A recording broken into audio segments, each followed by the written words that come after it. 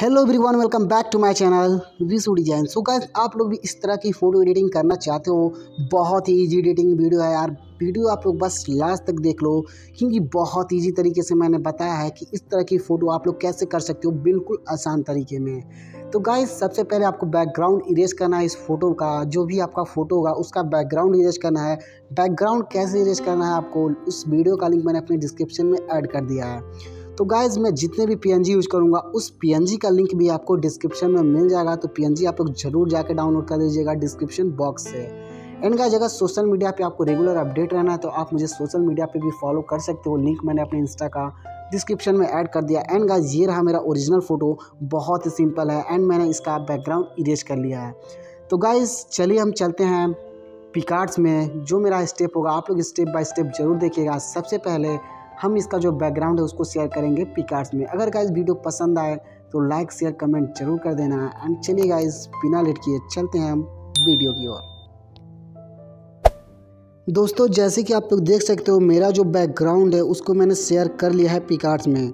Picard's में share करने के बाद गया, जो सबसे पहले आपका स्टेप होगा, सबसे पहले आपको ऐड करना है, जो आपने अपने फ़ोटो का बैकग्राउंड इरेज किया है, उसको सबसे पहले आपको ऐड करना है अपने फ़ोटो पे। तो गाइज़ सबसे पहले मैं अपने इस फ़ोटो को ले लेता हूँ, एंड मैं इसको कुछ इस तरीके से यहाँ पे ऐड कर लेता हूँ, जैसे कि आप लोग देख सकते हो। गाइड बैकग्राउंड कैसे इरेज करते हैं, उस वीडियो का लिंक मैंने अपने डिस्क्रिप्शन में डाल दिया है। वहाँ से आप लोग ज़रूर जाके देख लीजिएगा। एंड गाइज़ सेकेंड स्टेप आपको क्या करना है? फिर से आपको आना है ऐड फ़ोटो पे। एंड गाइज़ आपको ऐड करना है ये बर्ड्स वाली सॉरी गाइज़ ये जो फ़िश वाली PNG है, उसको ऐड करना है यहाँ से।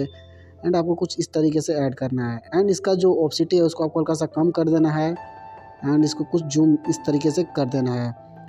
थर्ड स्टेप गाइज़ आपका क्या होगा? थर्ड स्टेप में आप फिर आओगे ऐड फ़ोटो पे। एंड गाइज़ ये जो आपको वाटर वाली पीएनजी दिख रही है, आपको इसको कुछ जूम करके कुछ इस तरीके से यहाँ पे एडजस्ट करना है, जैसे कि आप लोग देख सकते हो, मैंने कर लिया है।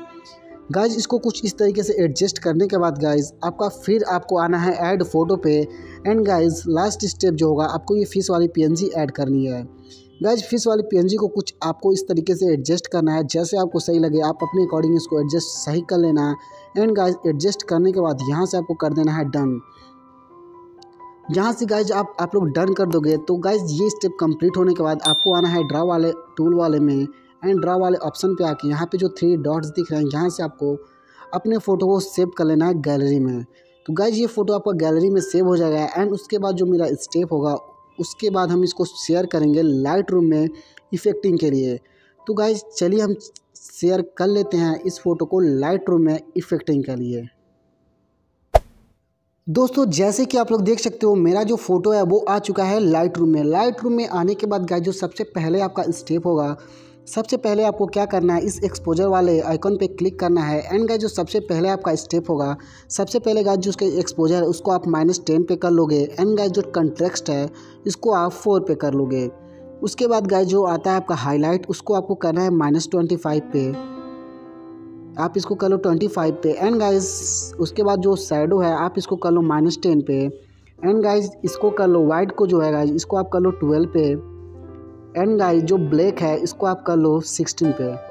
ओके गाइज़ उसके बाद गाइज़ आपको आना है सेकेंड स्टेप में। सेकेंड स्टेप में क्या करना है गाइज़ जो आपका वाइब्रेंस दिख रहा है, उसको आप माइनस सिक्स पे कर लो।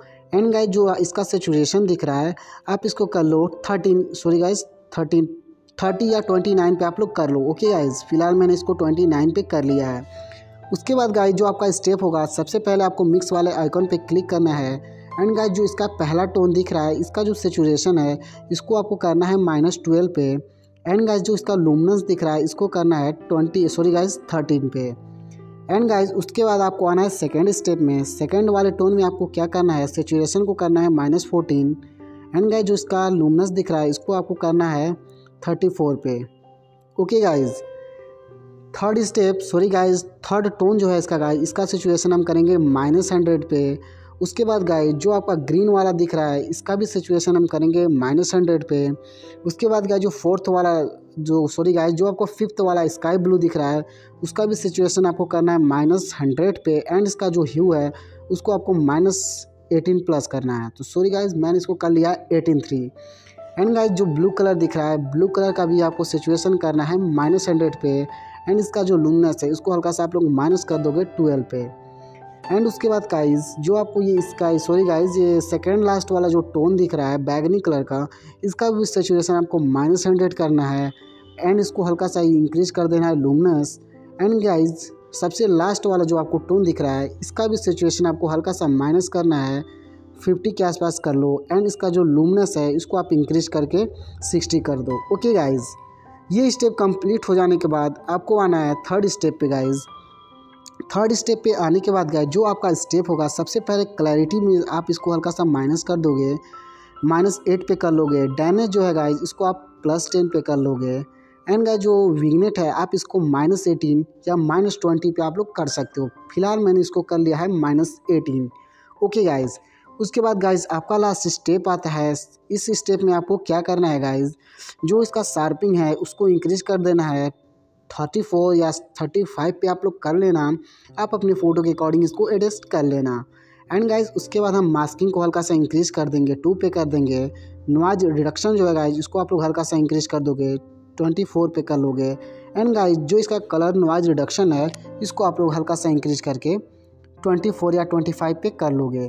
तो गाइस, फाइनली आप लोग देख सकते हो फ़ोटो कितनी अच्छी तरीके से इफेक्टिंग अप्लाई हो चुकी है हमारे फ़ोटो पे, एंड कितना बेस्ट फ़ोटो लग रहा है। तो गाइस आपका एक स्टेप बचता है, जो इसमें मेन है, वो है हेयर वाली।